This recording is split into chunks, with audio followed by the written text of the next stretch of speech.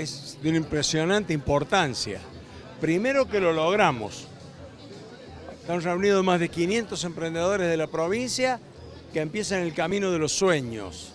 Y yo les pido a ellos que soñemos en el éxito, nos capacitemos para el éxito, para que cada emprendimiento sea exitoso, de tal manera que el éxito de cada uno de ellos sea el éxito de San Luis. El trabajo de cada uno de ellos va a significar una fuente de trabajo propia y generalmente necesitan algún colaborador y una fuente indirecta de trabajo.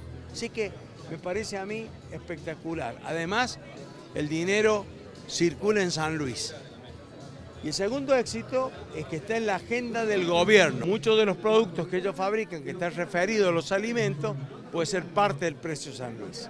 Si nosotros tenemos alfajores, si tenemos dulces, si tenemos pastas, podemos irlas incorporando en el precio San Luis y mostrarle al país que podemos vivir mejor y que nuestro pueblo, los productores pueden producir mejor y nuestro pueblo recibir con mejor precio esa mercadería.